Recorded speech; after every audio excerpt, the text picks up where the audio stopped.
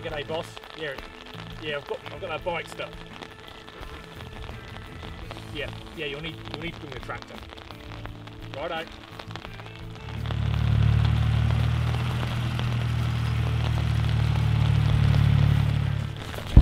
Where's uh, where's the strops? Oh, hold your horses. Let's just have a think about this.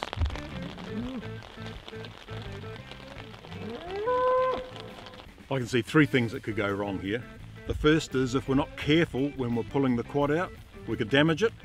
The second is if we don't correctly connect the strop at either end, it could flick back and hurt one of us. And the third is, if you're too close, I might run you over. Yep, we've got it. To stop the quad rolling when we pull it out, I'm going to tie these handlebars straight. I've looped the strop through the chassis so there's no way it can come off. You run that over to the tractor? Yep.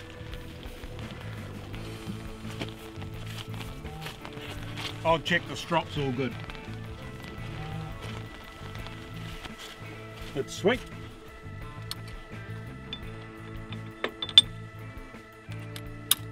All secure. I'll get you to go over there at least 25 metres. Yep, righto.